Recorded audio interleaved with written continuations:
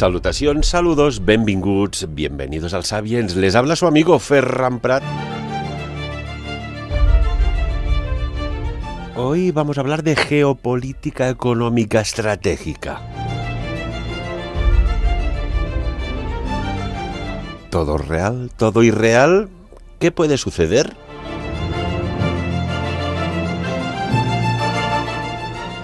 Cuando no salimos de una, entramos en otra, ¿no? Esto lo habréis dicho más de una vez en casa.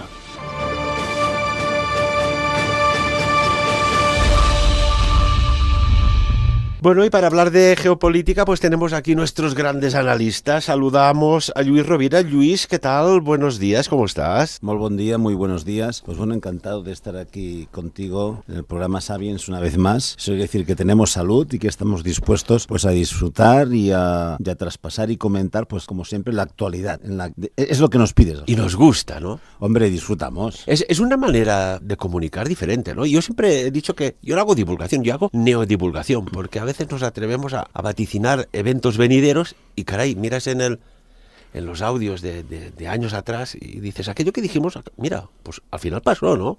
Un poco, entre comillas, Radio Nostradamus somos, ¿no?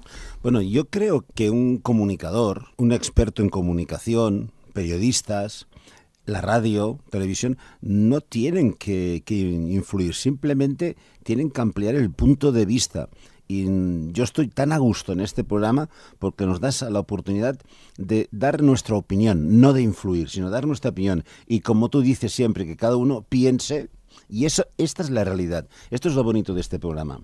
Hacer pues, pensar. Pues a ver si piensa ¿eh? lo mismo eh, nuestro economista Enric Sorribes. Enric, eh, buen día, buenos días, bienvenido. ¿Qué tal? Buen día, ¿cómo estén? ¿Opinas igual que Luis? Sí, es importante. El, el, el saber comunicar, el canal, eh, todo es, es, fundamental. Y, y, hoy en día eh, quizá mucho más, ¿no? En donde la comunicación verbal eh, es mucho, quizá tiene mucho más peso que no antiguamente.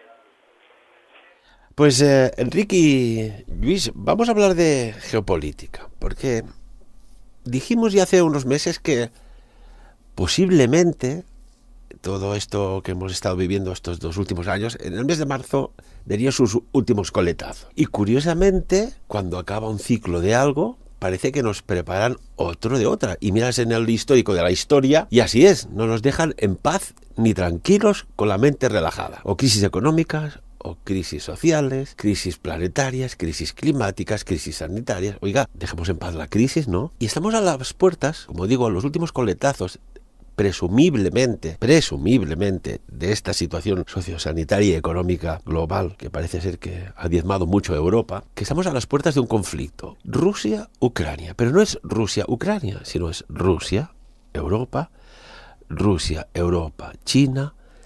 ¿Cómo, ¿Cómo veis este escenario? Bueno, yo si me permites que empiece, en el teu permís, Enric, eh, yo creo que es un problema de imperialismo. Putin añora ese imperialismo ruso que había en toda la zona europea y asiática de su, de su, influencia. Ucrania es un bastión de la cultura rusa. Para muchos, la cultura rusa empezó en Ucrania. Pero es que después tenemos el imperialismo chino y tenemos el imperialismo estadounidense. Y entonces ya estamos volviendo a ver qué es lo que pasa y a ver quién influye más y sobre todo, sobre todo tengamos en cuenta que el imperialismo de Putin, ¿vale? Este concretamente lo que no quiere y está viendo en estos momentos que toda la zona fronteriza, desde Finlandia, Ucrania, etcétera, etcétera, ya hubo la guerra aquella de Crimea, la anexión de Crimea, me parece que fue en el 2014. Entonces, ahora este paso, este acercamiento de Ucrania a la OTAN, obviamente está viendo peligrar sus fronteras o teme y que no pasará nunca, ¿no? Pero es ese imperialismo que, que, que pone por bandera la bandera rusa para defender, para invadir, etcétera, etcétera. Y no es así. Y por el otro lado, pues están también el imperialismo americano que se pone por bandera y defensor de la humanidad y de todos los territorios eh, de nuestro planeta y entonces ya tenemos el pulso. Y después, como eh, está pasando mm, durante muchísimos años ya, ese no mover ficha, esa partida de ajedrez, pero lenta, que juega la Unión Europea, que juega Europa en todo esto, y a partir de aquí verlas venir, ¿no? Pero obviamente, uno de los grandes perjudicados, aparte del pueblo de Ucrania, va a ser la economía europea, eso está clarísimo, y la rusa, por descontado. Enrique, tú así, de momento, análisis preliminar. A ver, yo creo que Rusia, tal como comenta Luis, está intentando de alguna manera rehacer o reconstruir su, su famoso imperio, ¿no? Lo que sería el ámbito soviético, por decirlo así. Eh, durante un tiempo eh, se curó sus heridas, estoy hablando justo después de la desintegración del imperio, eh, o de la confederación, o digamos lo que no, sé exactamente el entorno soviético, y ahora poco a poco lo que quiere es recuperar posiciones. empezaron con Crimea, ya se vio lo que pasó, em, quieren no perder el control de sus zonas de influencia, el ejemplo también lo estamos viendo en Bielorrusia, y tienen el soporte de otro gigante eh, a su lado que China. Eh, entonces yo creo que es una partida en la que quien tiene mucho a ganar es, Rusia, quien tiene mucho a perder es Ucrania. Creo que el resto de, digamos, jugadores pues se van a quedar más como mirones que no que no otra cosa. Y por ejemplo, haciendo un poco de análisis, ¿no? Recordemos aquello, aquellos años de que hubo aquella pandemia de gripe en Europa que, bueno, se fulminó y son datos oficiales, ¿eh? Cerca de 50 millones de personas murieron. Poca broma, ¿eh? Y con casos 500 millones. ¿Eh? Y de los 550 millones fallecieron. Vamos a plantear escenarios. ¿eh? Vamos a hacer escenarios plausibles que no queremos que sean reales. ¿eh? Pero imaginemos que estamos en una situación así sanitaria, debilitada. Porque con los datos que tenemos a día de hoy, hoy, si no recuerdo mal, porque a veces estos que trasnochan tanto como yo, estás hasta ya no sabes en qué día te encuentras, si es el, hoy o el ayer del mañana. Pero hoy, a día 9, las autoridades de Alemania han notificado, este miércoles, 235.000 casos eh, que es un máximo histórico eh, registrado la semana pasada. Claro, si estallara un conflicto con el sistema sanitario ya agotado, ya sabemos lo que reporta las guerras. ¿eh? Todos éramos chiquitines y aún después de la Guerra Civil Española, yo recuerdo ver gente coja, manca, etcétera, etcétera, con amputaciones. ¿Esto qué podría suponer? vamos a hablar a nivel sanitario. Es, estalla la crisis, hay conflicto y empiezan a haber bajas. Luis.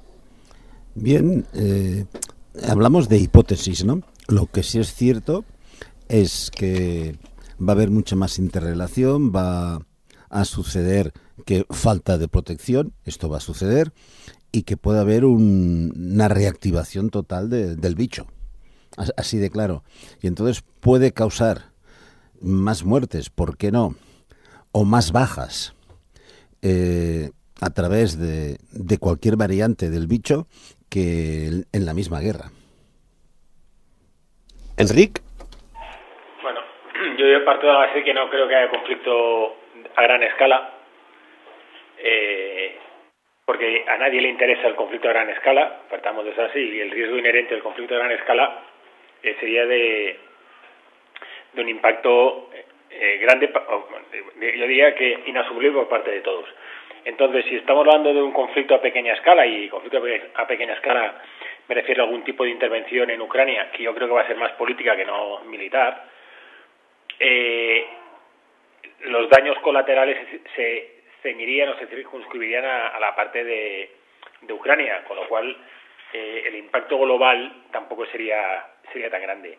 Y vista los datos que están ahora mismo encima de la mesa, y hablo más que nada en el mercado eh, o en el ámbito europeo, ¿no? que es donde más impacto podría tener, eh, la situación de, de la pandemia está más cerca de una gripe periódica o, o, frecuente, por decirlo así, y ya fuera del ámbito de, de, un gran impacto eh, sanitario. Es más un tema del desgaste físico o del agotamiento del sistema sanitario que no, que no la repercusión que puede tener o una, eh, digamos, o, un incremento a través de los casos derivados de, de las penurias sanitarias. Podría ser que es un bueno, pues un juego de equilibrio de fuerzas. Yo muevo así, tú mueves allá. Es, es una compleja y geopolítica eh, partida de ajedrez al más alto nivel. Luis. Bueno, si hablamos de especulación, cualquier punto mm, puede estar ahí, ¿no? Pasa, yo prefiero no especular, mm, realmente, ¿no? La realidad es que todos son hipótesis pero realmente no está en nuestras manos y no tenemos los datos suficientes como para poder decir están tirando para aquí o están tirando para allá. Realmente es una partida de ajedrez geopolítica, asimismo, que además se agrava eh, con esta ficha eh, que es el que es el bicho. Entonces, a partir de aquí, cualquier hipótesis es válida. Lo que sí es cierto es que hemos de estar preparados para actuar en cualquiera de las situaciones. Esto sí, nos, hemos de estar preparados y adelantarnos a. ¿Prepararnos a qué? Pues delante de cualquier situación que pueda haber, de un nuevo rebrote, de que haya países que no tengan medios, y parlo sobre todo de la influencia europea y su entorno, que es donde está más concentrado en estos momentos el tema del COVID. No sé si hay mirando el último mapa de los últimos 15 días, un mes, la parte más afectada es Europa, por descontado. El epicentro estaría en Europa, en este caso, ¿no? Entonces, el que no haya suficientes vacunas, el que no haya medicamentos para combatirla, etcétera, etcétera, esto podría ser muy, muy, muy duro. Sí, Enrique. Bueno, eh, a ver, yo creo que es un, es un tablero eh, de ajedrez cada uno está moviendo sus piezas. Eh, situaciones similares hemos visto con, con contendientes del mismo tamaño y al final no ha pasado nada. El ejemplo tienes con China y, Taiwán, o China y Hong Kong, China y Tíbet, y nunca ha pasado nada. Eh, sí, sí, todo el mundo se queja, todo el mundo... Bueno, pero permíteme, Enrique, Tíbet fue invadido por China. Pues yo te lo digo, y el resto del mundo que ha hecho, mirar y quejarse. Me refiero a eso, es decir, que al final, eh, cuando, cuando Inglaterra dejó la colonia de Hong Kong en manos chinas, teóricamente lo hizo con una serie de, premisas o de derechos que los Hong Kong, que la gente de Hong Kong no tenía que perder. Y has visto que China ha hecho lo que le ha dado la gana, eh, el mundo occidental se queja y, y, va, y, va reclamando a China, China no hace, no hace nada y al final eh, nadie, nadie recuerda nada. Eh, ¿Qué pasó en Crimea? Ucrania entró, eh, perdió Crimea porque Rusia decidió que Crimea se quedaría en manos de los secesionistas prorrusos y ahí estamos. Y la gente se queja y bla, bla, bla, pero al final eh, es lo que digo, el coste es tan elevado de, de una situación alternativa que no se contempla. Aquí todo el mundo está enseñando su potencia y sus capacidades y ahí estamos y no va a pasar nada. ¿Alguien realmente se, se plantea que Estados Unidos y la OTAN vayan a iniciar un conflicto bélico por Ucrania? ¿Realmente alguien se lo cree? ¿Alguien se cree que, Europa, la OTAN y, y, Estados Unidos se van a enfrentar a Rusia con el soporte de China? ¿Y, y que vamos a tener un conflicto nuclear? Si al final lo, lo que demuestra es que es un tema de tamaño y lo que hacen al final las cuatro o cinco potencias es eso y hacen lo que les da la gana. Ahora, eh, con, esta historia, daros cuenta que todo el mundo está jugando a sus posiciones. El, el ministro, perdón, el presidente de, de Argentina ahora está dando soporte a Rusia de alguna manera, porque Rusia le ha dado soporte a, a, en las Malvinas, ¿no? diciendo que las Malvinas son argentinas. Y al final todo es un juego de, de, cambio de cromos. El problema es que nosotros estamos en medio y vemos pasar la, la, la pelota por arriba, si fuéramos la red de un partido de tenis, y ya está, pero mm, eh, quizás, quizás soy muy optimista, pero viendo cómo, cómo está todo, eh, yo creo que es más un, un paripé que no una, una realidad. Y al final los pobres eh, ucranianos son los que van a sufrir. Pero recordemos qué pasó en la Segunda Guerra Mundial. Al final el reparto de Polonia generó lo que generó. ¿no? Porque al final Polonia se le había repartido previamente a Alemania y Rusia, ¿eh? Y, que hasta que no se cruzó la, la línea, entonces eh, realmente no, no hubo un conflicto. ¿Y cómo acabó? Entonces yo creo que cualquier analista en cualquiera de los, de los países que ahora están en medio, y básicamente podemos decir que es Rusia y Estados Unidos como principales cabecillas, eh, tienen claras las consecuencias que podría tener un conflicto bélico y ni uno ni el otro van a provocar. Yo creo que ahora están jugando a marear la perdiz y el objetivo final de, de Rusia creo que sería colocar un, un mandamás en Ucrania pro-soviético, pro-ruso, eh, como, como está en Bielorrusia, y de alguna manera cortar las alas pro-OTAN que pueda tener Ucrania. Cuando hablabas de, Polonia, vale la pena recordar la historia, ¿no? Que siempre nos ha llegado, ¿no? Toda la información de que fue invadida por los alemanes en la Segunda Guerra Mundial. Pero es que hubo un tratado secreto eh, de repartimiento de Polonia y mientras Alemania atacaba por el oeste, la URSS atacaba por el este. Y, todos recordamos aquel vídeo de cómo se saludan los soldados en Brest-Litovsk eh, cuando pues estrangulan Polonia, que después eh, pasó lo que pasó, ¿no? Recordemos cuando hubo el lanzamiento de Varsovia, cuando estaban las tropas soviéticas a las puertas, pensándose que les ayudarían y los dejaron allí solos. Bueno, eh, metralletas contra cañones alemanes, se agotaron, se rindieron y después fue barrida por, por las tropas soviéticas en su avalancha hasta, hasta Berlín, ¿no? Hay, hay cosas. Y, una cosita, vosotros que sois observadores, esta puesta en escena eh, del presidente de Francia, Macron, y Vladimir Putin, en esa mesa tan larga, mirándose uno al otro, uno como más relajado, el otro como más tenso. Eh, ¿Cómo lo qué analizáis, Luis? yo sí analizo el tema de protocolo, el tema de, de la comunicación no verbal. Simplemente la salud, la no va eh, Putin no va a recibir a Macron al aeropuerto. De entrada ya frialdad y distanciamiento. Después en la sala con esa mesa tan larga de punta a punta. Eso ya es distanciamiento, es que te lo está diciendo. Después las imágenes cuando hablan, distanciados además, es absolutamente, es hacer el paripé, porque ahí no se buscaba nada, sino eh, por un lado el francés diciendo, bueno, he ido a verlo, he dado el primer paso, aquí estoy, soy el valiente, soy el bueno de la película, y el otro, Rusia, el Putin, eh, delante de Rusia diciendo yo recibo, yo no quiero la guerra, yo quiero ser, yo soy pacifista, por decirlo así de alguna forma, delante de su pueblo. Pero en el fondo, en el fondo, continúa la partida de ajedrez y cada uno su distanciamiento. Esto ha sido telenoticias, nada más, nada más. Eh, esta puesta en escena, que a lo mejor después estaban allí tan tranquilos tomando algo. Un vodka. Eh, eh, pero bueno, esta puesta en escena tan calculada, Enrique, tu opinión, tu análisis. Sí, es, yo creo que es, es, lo que digo, es de una manera es intentar proteger el patio de casa, que es lo que está intentando Rusia. De alguna manera es una reconstrucción en la parte que se puede de la antigua Unión Soviética, eh, han perdido evidentemente las repúblicas bálticas y no las van a recuperar, eso, eso sí que es está claro, pero lo que sí están montando es un, digamos, un tipo de línea Maginot en la, en el, eh, en, la parte más, más, hacia el sur, ¿no?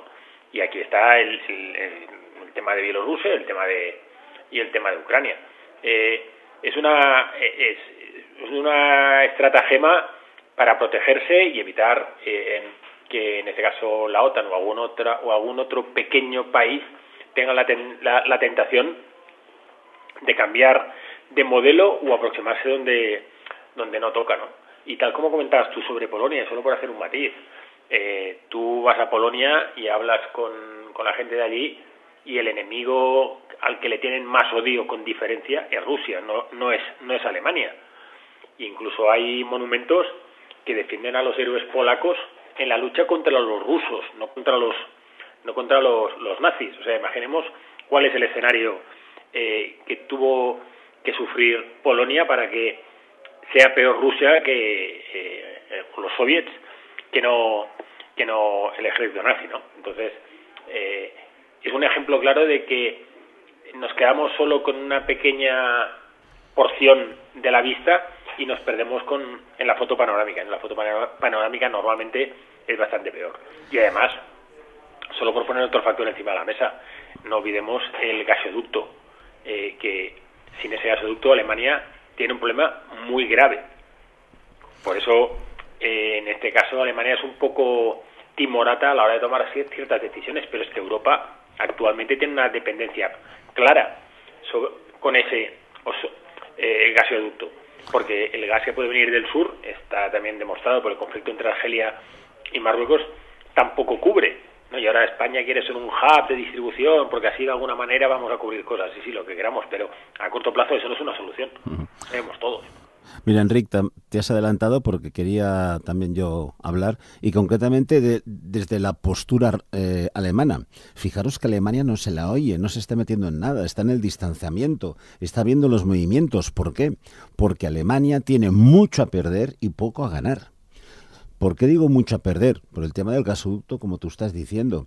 La industria alemana en estos momentos es la que está teniendo mayor crisis de toda Europa. Asimismo, ¿por qué? Una, por el gasoducto y todo a nivel energético lo que significa para ella. Y dos, a nivel de producción, uno de sus principales mercados es toda el área de influencia rusa. Y esto se le en estos momentos no lo tiene. Por lo tanto, pero fijaros, fijaros en, estos momentos, Alemania, que no está moviendo ficha. Quien está moviendo ficha, por una parte Rusia, por otra parte la OTAN, por otra parte el presidente americano, y ellos están a la expectativa. Y se moverán al son que mejor les convenga, igual que pasó en su momento con la invasión en Polonia. Así de claro. Eh, cuando hablamos de la Segunda Guerra Mundial, mira que es un tema que hemos tocado mucho y siempre hay cosas, ¿eh? Yo siempre me he preguntado una cosa, cuando eh, Adolf Hitler pone 6 millones de soldados de la Wehrmacht para invadir la operación Barbarroja la URSS, con toda aquella artillería, con toda la información que tenían de sus generales de servicios de inteligencia, la Abwehr, de que, ojo, que allí es muy complicado. Y se lanzan a esa invasión, siempre me he preguntado si fue un ataque preventivo porque fijaos que en toda la frontera soviética habían millones de soldados como si estuvieran haciendo qué. Es que quizás iba a haber una invasión de Stalin y dijeron o invadimos o nos invaden. Me recuerda un poco este, este juego de equilibrios que en aquellos momentos pues fue, fue como fue, ¿no? Podría darse que esto, decir, oiga, es que nos tenemos que reforzar, reforzar la frontera porque puede haber una invasión, ¿o no? No, no, si miras la, historia, el pacto que tenían los nazis con, Rusia en cuanto a fabricación de, armamento. Los, los, alemanes pensaban que estaban comprando toda la producción de tanques y armamentos a Rusia, toda la producción que eran capaces de hacer, pero los rusos fueron muy listos. Uno para ti, uno para mí, uno para ti, uno para mí. Esto, tal como dices tú muy bien, a través de los agentes secretos y la información que tenían, estaban viendo que Rusia, Rusia estaba cogiendo tanto poder como ellos a nivel armamentístico.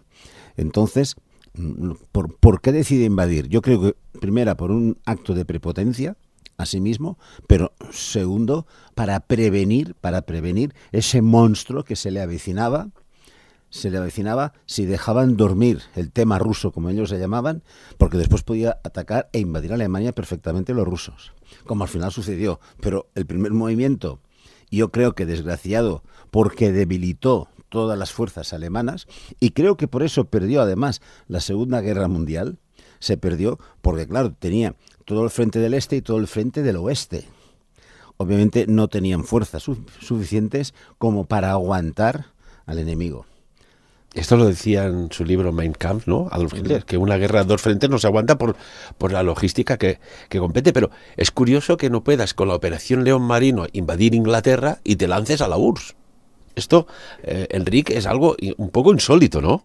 Bueno, yo creo que el, si analizamos un poquito el, los acontecimientos, yo creo que hay un factor clave en el que, yo, que Alemania empieza a perder la guerra y yo creo que es justo antes de, bueno, o durante Dunkerque. En, en, las playas de Dunkerque, Alemania tiene en sus manos el, el hundir a Inglaterra. Y seguramente porque detrás había algún pacto o había algún tipo de preacuerdo que al final Churchill pues eh, rompió. Eh, porque si, si tenemos en cuenta que los familiares de la familia real eran pro digamos, proimperialistas y no sé si decir pronazis, eh, y al final el, que, el que rompe ese preacuerdo es Churchill, eh, en el escenario de Dunkerque, eh, tengamos en cuenta que todas las tropas inglesas, todas, la gran mayoría de tropas inglesas, están en las playas y se les deja huir ¿eh? o recuperar territorio británico con una facilidad pasmosa y lo recuperan pesqueros y, y pequeños barquitos que vienen de, de Inglaterra, teniendo en cuenta que en ese momento el dominio alemán aéreo eh, a través de la Luftwaffe era increíble, ¿no? Yo creo que ese fue un primer un primer error. Luego Alemania se encuentra en el riesgo, con el riesgo de, de, ser el salami del sándwich, porque se queda en medio de un conflicto con Inglaterra, a pesar de las V2 e intentando minar la moral inglesa, eh, se, se, queda en medio del, del, del, del, bocata, ¿no? O sea, de, las dos lonchas de pan, porque el riesgo de, de Rusia es, es evidente.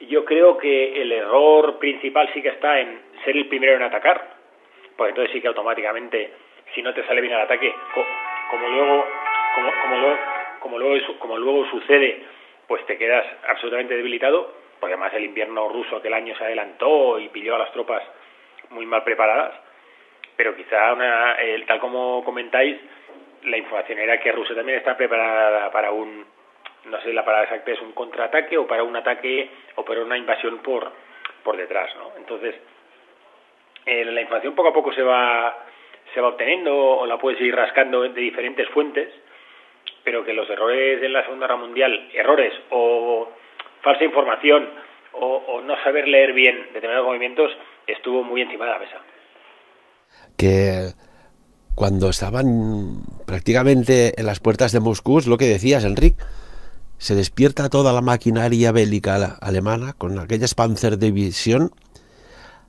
una mañana a 60 grados bajo cero. Incluso hay notas de, generales alemanes que decían que salir a hacer las necesidades fuera de las trincheras era una invitación a la muerte 60 grados bajo cero. Los fusiles no disparaban. La grasa de los cañones se había congelado. Y, es entonces cuando eh, Stalin eh, hacen como un giro de sus tropas que estaban en Siberia y con el conflicto en Japón y lanzan estos experimentados, veteranos y fuertes soldados en plan oleadas que, no, que eran imparables. Es curioso. Eh, volvemos aquí a día de hoy, ¿eh? mira que vamos saltando en el tiempo, ¿eh? Pero este gasoducto, el, Nord Stream 2, ¿eh? esta infraestructura de gas de inversión germano-rusa, claro, ahora geopolíticamente, cuando has dicho es que Alemania está como muy callada, dices, oiga, es que aquí han puesto mucho dinero unos y otros, como ahora para, para ponerse mal con el que tiene el producto, aunque hayas hecho inversión a 50-50. ¿Qué podría pasar aquí? Mira, yo te voy a hablar, aparte del famoso gasoducto, ¿no? De la inversión alemana para y de distribuir desde allá a toda Europa. Pero lo que es importante es que ya, yo me acuerdo en una reunión cuando estaba trabajando para Mercedes-Benz, en una reunión que tuve de presentación de productos en Alemania, concretamente en Frankfurt fue, en el Salón de Frankfurt, en el cual la apuesta que tuvo, y mira, hablo del año 94, ¿eh? la apuesta que tuvo Alemania para todos los países del este.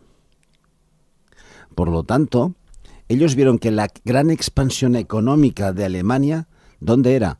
Pues a todos los países de la Unión Soviética. En estos momentos esto lo tienen bloqueado. Eh, en estos momentos esto lo han perdido. En estos momentos ellos tienen las cadenas de producción, aparte de los chips, aparte del todo el tema de chips, que este es otro tema, eh, lo, tienen que, claro, no están haciendo horas extras, eh, tienen los los contratos más basura de toda Europa. Esto, fijémonos, ¿no? ¿Eh? eh hay hay personas que no están que no están cobrando el subsidio en Alemania porque tienen un contrato de, dos horas, tres o cuatro semanales. Que esto no lo está, no se está viendo, no se está, pero realmente es así. Esos contratos basales en Alemania son terroríficos, con tal de no pagar subsidios. O sea, mirado a nivel geopolítico, cómo se está actuando. Por lo tanto, tienen un grave problema económico, pero muy grave, eh, lo que es Alemania. A partir de aquí, por eso está callada, viendo la expectativa y hacia dónde va. Como os he dicho muy bien antes, yo no creo que haya un gran movimiento de nadie, de ningún bando. Y a partir de aquí, cuando todas las aguas vuelvan a su cauce, por decirlo así, Alemania otra vez volverá a influir económicamente en todos los países del este.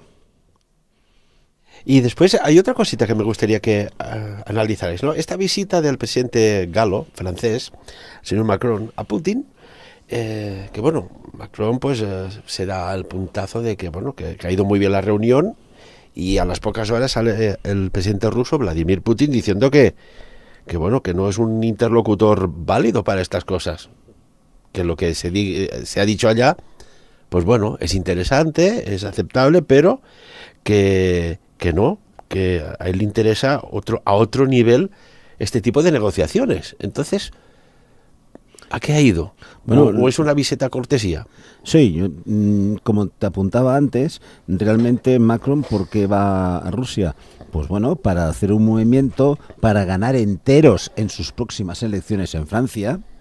Ojo lo que estoy diciendo, ganar imagen, al final es ganar imagen pero mm, es una visita de cortesía, nada más, ¿eh? Nada más. Porque realmente, ¿quién tiene que ir allá? ¿Quién tiene que pactar? ¿Quién tiene que ver? ¿Quién tiene que negociar? Obviamente el presidente de la Unión Europea. Para algo tenemos un presidente en la Unión Europea, que no tiene que ser un funcionario de despacho puro y duro. Que esto es el cargo actual que hay, ¿no? sino que tiene que ir allá. Y de una vez por todas, si tanta Unión Europea tenemos, el presidente tiene que ejercer el poder que le otorga la Unión Europea. No un país o no Italia o no Francia o no, no, no, no, no, el presidente. Y por qué no una reunión, una reunión entre los presidentes de Estados Unidos al final y de Rusia. Esas serían las grandes negociaciones y que se vieran y que se encontrasen, pero eso todavía está muy lejos. Bueno, de hecho ha dicho el portavoz de, de Putin, eh, Dmitry Peskov, que Francia ocupa, pues eso sí, la, presidencia de los países de la Unión Europea, que Francia es miembro de la OTAN, donde París nos tenta el liderazgo, ojo, en este bloque el liderazgo lo tiene otro país y añade que ¿de qué acuerdos podemos discutir? Se preguntó retóricamente el portavoz del Kremlin ante las noticias de un supuesto pacto. Enrique. No, pero es que, a ver, la figura de Macron está como decía Luis, por un lado está jugando con, con dos gorritos. Uno es el, el de política local, pues va a dar la casuística de que siendo presidente de turno va a tener elecciones nacionales, donde le interesa aparecer como un, gran estadista, y por otro lado, aprovechando eh, esa intención, eh, bueno, pues ejercer de presidente de la, de la Unión Europea. Lo que pasa es que está claro que en este juego la Unión Europea pinta entre cero y nada. Primera, porque el conflicto lo tienes con la OTAN y Estados Unidos, ¿no? digamos como, como gran partner dentro de la OTAN. Y entonces aquí la Unión Europea pinta lo que pinta. Y entonces ya dentro, además de la Unión Europea, eh, ha quedado demostrado, como se vio en la reunión que creo tuvieron hace dos o tres días, el nuevo canciller alemán con Biden, en el que Alemania no, no mueve ficha o, e intenta ir, como se conoce, eh, o como se dice siempre, de perfil muy bajo, porque sabe las consecuencias de, de mover o de, tener un movimiento que, puede incomodar en este caso a, a Rusia. Entonces, eh, bueno, Macron lo que intenta es, porque creo que tiene claro que no va a haber conflicto bélico, eh, en colgarse esa medalla, en decirle, veis, he conseguido que, ¿no? Y así pues al final nadie, eh, los, los, los, daños no, va, no van a ser o no van a ir a mayores. Yo creo que esa es la, la, la intención de, de Macron. Cuando hablamos de aquellas tierras no puedo evitar... Mira, volvemos a la Segunda Guerra Mundial. Eh, hubo, un, hecho, yo no sé si lo conocéis, pero es, es brutal, porque había, bueno, pues estaban en la beligerancia, en el enfrentamiento, ¿eh? los soviéticos con los alemanes, en, en aquellas estepas frías, largas, desoladas, y, ocurre un, evento muy curioso en la región de Kuban, en el cual se despiertan los soldados, están allá observando, eh, los, los, los, rusos pues a pocos kilómetros observando al enemigo de los alemanes, la Wehrmacht, los nazis, etc. Y, y sucede algo tan extraño que aparecen unas esferas luminescentes que sobrevuelan todas las trincheras eh, alemanas y se encuentran al día siguiente, cuando envían un, destacamento de observación eh, ruso, a 1.500 soldados alemanes como petrificados, como carbonizados. A día de hoy, y se ha investigado varias veces, supongo que eh, la KGB debe tener más información, pero en lo que se sabe es que hubo una tecnología que los alemanes se asustaron porque dijeron, si los rusos tienen esta arma secreta, nos fulmina la guerra en un plis plas. Y, curiosamente, no era un arma soviética, pero mil soldados alemanes, mil quinientos, quedaron petrificados, carbonizados. Me pregunto yo, ¿qué debió suceder en aquella, en aquel día misterioso y congelante? Luis, esto es un evento extraño y, y, está documentado, o sea, esto es sí, real. Sí, sí, está documentado. Y, y, no murieron por congelación, ojo, ni por bala, ni por fuego enemigo. Sí, sí, no, no. Además, incluso los soviéticos, cuando fueron a las trincheras y vieron aquella cantidad de enemigos que estaban mm, carbonizados más que petrificados, eh, se pensaban no sabían si e, ellos habían hecho algo, si habían sido los otros, no se supo qué pasó jamás. Se decía lo de las esferas, esas luces que eran, que no se saben mm, realmente qué fue, y si hay, mm, eso no ha aparecido, vete a saber quién lo puede tener escondido, pero esa es una arma que hubo, que sucedió y que no sabemos de qué va, pero sí está, sí hay escritos sobre ese hecho, sí hay testimonios sobre, sobre ese hecho pero que jamás el ejército soviético ni el alemán confirmaron. Esto es así. Por lo tanto, ya estamos otra vez en, la teoría de la conspiración. ¿Qué pasó? Bueno, pero es un hecho. Que puedan pasar en estos momentos cosas así, claro, también pueden pasar. El qué, no lo sabemos. El qué, no lo sabemos. ¿Quién te dice que no se tiró un gas que por lo que sea ardió, quemó, no lo, no sabemos, que se mm, tiró desde aviones, no lo sabemos. También sabemos que los soviéticos, mm, cuidado, tenían mm, lo que ellos llamaban platos volantes, ya los tenían y estaban preparados allá. Y se ha visto y hay fotos y hay algún que otro reportaje que se puede encontrar. ¿Lo tiraron desde eso? No lo sabemos. Por lo tanto, aquí volveríamos a entrar otra vez en darle vueltas al coco, deja que lo diga así, pero todos son teorías, eh, lo que acabas de plantear, lo, la noticia esta que acabas de dejar caer ahora, pero realmente, mmm, bueno, es dar la vuelta a. No, no sabría hablarte más, ¿no? Sí conozco el hecho, porque bueno, como sabes muy bien, a todos nos gusta leer, informarnos, averiguamos cosas, entramos un poco más, pero hay un punto en que estás en un punto muerto, no puedes ir más allá. Es como muchos casos documentados de batallones, incluso de legiones romanas, desaparecer sin dejar rastro, ¿no? Hay, hay cosas extrañas durante los eventos uh, militares, Enrique. Alguno, este, este de las esferas de Cubán, eh, es, esto es eh, impresionante, ¿no?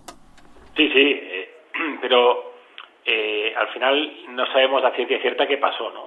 hay hechos en la historia que, bueno, te lo voy a comentar, ¿no? El, hay uno que es el ejército desaparecido también en la época eh, prerromana o el periodo romano en el que también desaparecieron legiones enteras, desapareció algún ejército, ¿no? Eh, lo que no sabes es qué hechos hay, si es una tormenta de arena, si ha pasado algún hecho alternativo, pero en cuanto a lo que es tecnología, eh, no olvidemos que cuando acabó la Segunda Guerra Mundial la mayoría de científicos alemanes eh, fueron todos contratados, raptados, facilitados. su escapatoria hacia la URSS por un lado y hacia Estados Unidos por otro, ¿no? Ambos países lideraron la carrera armamentística y la carrera espacial gracias a la tecnología alemana o al conocimiento de los científicos alemanes. Por tanto, yo creo que de esa época hay un montón de información que no sabemos porque ya se han encargado eh, determinados países de, ocultar esa información, ¿no? Eh, y creo que a la vanguardia de esa información estaba, Alemania. Eh, solo una anécdota, curiosamente, ah, no sé si estáis al corriente, pero ha pasado algo muy insólito, ¿no? Que desde el Congreso de los Diputados ha invitado a un experto en farmacología eh, a hacer un, pues bueno, un poco de, tertulia, de explicación y tal, y ha empezado a decir una serie de cosas que están corriendo por las redes ¿eh? y son reales porque es allá y se ve la bandera de la Unión Europea, la bandera española, etcétera que caray con lo que ha dicho. No vamos a entrar en este debate que no es el tema que nos ocupa hoy, pero recomiendo que lo vean, amigos y amigas, porque es insólito. Y esto abre, pues, otra teoría de la conspiración sobre estos dos últimos años. Eh, una cosita, estábamos hablando de, bueno, pues de, la frontera ruso-ucraniana, países bálticos y así, ¿no? Oye, pero eh, Argelia está muy asustada, porque parece ser que eh, Marruecos ha comprado eh, drones kamikaze, eh, drones kamikaze los ha comprado al Israel Aerospace Industries por valor de 22 millones de dólares. Y es, es lo, un poco lo mismo en otro contexto, es decir, en una frontera, ¿no? Oye, que, se están armando tanto estos, ¿no? Es como Rusia dice, oiga, que, hay tanta, tanta, base de la OTAN en nuestra frontera. Eh, esto puede acabar degenerando en algún alguna especie de, problema, porque estos drones, atención, tienen una autonomía de vuelo de mil kilómetros. ¿eh? Su radio de acción es de mil kilómetros. Con la tecnología que tienen es muy difícil de detectar en los radares y pueden transportar, que no está mal, ¿eh? 20 kilos de carga explosiva. Ya les llaman los adriones, los drones kamikaze, Luis. Bueno, eh, plantémonos que también otro punto durante mucho, mucho tiempo ya caliente es lo que es el Sahara. por lo tanto, allí sobre todo tenemos gas, dicen que también hay mucho petróleo y por lo tanto, como hay combustible fósil, mm, la ambición de un país y de otro, y es más, yo diría del, del rey marroquí y del presidente argelino, por lo tanto, ahí también geopolíticamente es un punto muy, muy, muy caliente. Bueno, eh, en estos momentos sabemos que Marroquí detrás y apoyándolo y alimentándolo también se, también se encuentra la OTAN. Tenemos otro punto caliente. Igual acaba uno y después vamos para otro. Dice, dos puntos calientes y ya trazan una línea, ¿no, Enrique? Bueno, yo, sí, pero yo creo que es bastante hay más posibilidad de conflicto real en, África que no en, en Ucrania y Rusia por la, por la digamos por la gran diferencia de potencial que hay entre unos y otros. Eh, Marruecos y, y, Argelia ya llevan una temporada eh, así a la greña. recordemos también el conflicto del Frente Polisario, el problema que tuvo España con Marruecos por, por dejar aterrizar y curarse en un hospital eh, al, al, líder eh, del frente.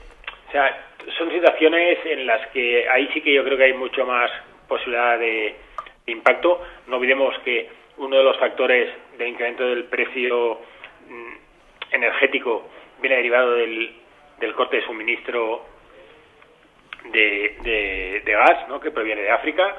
Y bueno, eh, yo creo que ese sí que es un punto quizá eh, más, más con, más probabilidad de impacto real que no el de, el de Rusia y Ucrania. Bueno, de, momento en, en, la zona cercana a la ciudad de Kharkov han instalado misiles antibalísticos, eh, los móviles, los famosos THAAD, por si no. Eh, señores, eh, nada, nos quedan dos minutitos. Y todo este tema energético, con las patentes que hay guardadas ¿no sería más factible que se empiece cada país a hacer su autoconsumo, que siempre dependes del otro y el otro si se despierta mal o cambia el gobierno, ya empezamos aquí. ¿eh? Si en la comunidad de vecinos, a veces siempre hay uno o dos vecinos que hacen la guitza, ¿eh? imaginaos a nivel eh, geopolítico entre países.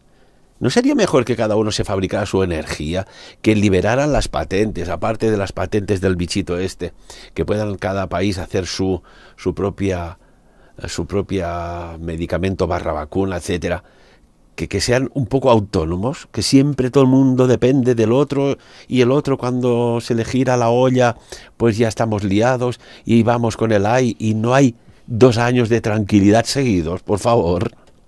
No, no, pensemos que en estos momentos que se ha apostado por la energía eléctrica en el sector de transportes, automoción, etcétera, eh, bueno, mm, es para seguir dependiendo de las, grandes compañías, ya no digo petroleras, pero sí las, las, las grandes compañías hidroeléctricas, ¿no?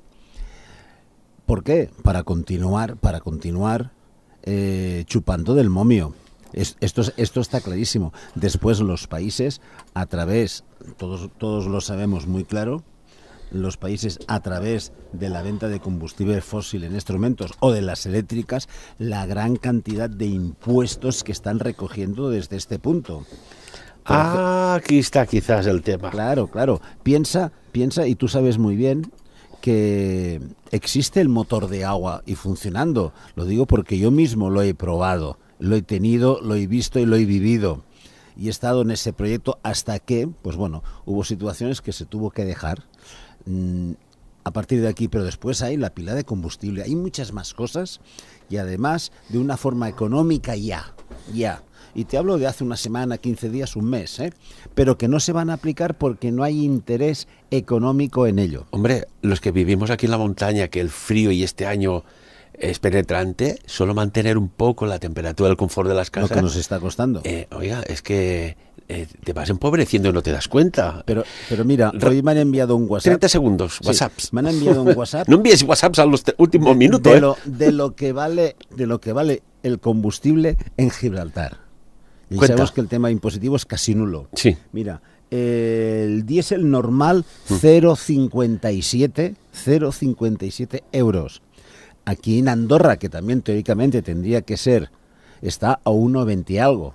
Y abajo en España está ya a 1,50, 1,60. Es, es, una pasada. Por lo tanto, ¿qué sucede? Pues sucede, te lo voy a decir, Luis. ¿Sabes en las gasolineras que hay ese rollo de papel eh, para si te manchas o algo? Eh, te cogen ganas de ir a llorar y secarte las lágrimas allá. Señores, que nos hemos volado el tiempo. Mira, yo quiero recordar una, una, frase que dijo Víctor Hugo en Los Miserables. Dice, no hay nada como un sueño para crear el futuro. Pues a ver si empezamos a soñar en positivo. Enrique Sorribas, como siempre, amigo, muchísimas gracias. Eh, buenas tardes, buenos días y nos vemos la semana que viene. Y tanto que sí. Y también, Luis Rubiera, también muchísimas gracias por estar con nosotros. A ti muy buenos días a nuestros oyentes y gracias por estar aquí. Y el tiempo, el tiempo que no lo curvamos en radio. ¿Cómo puede ser esto? Con lo que llegábamos a saber y no curvamos el tiempo en la radio. Quizás es un misterio que tenemos que resolver. Amigos y amigas, sobre todo, por encima de todo, ¿eh? de lo que hemos tratado hoy aquí, cada uno de vosotros, sacad vuestras propias conclusiones. Sabiens dirigit i presentat per Ferran Prat. Saludos y bienvenidos a Sabiens. Os animo que os suscribáis al canal, que nos deis un like y nos ayudéis a seguir informándoos a través de un donativo. Muchísimas gracias de corazón y bendiciones.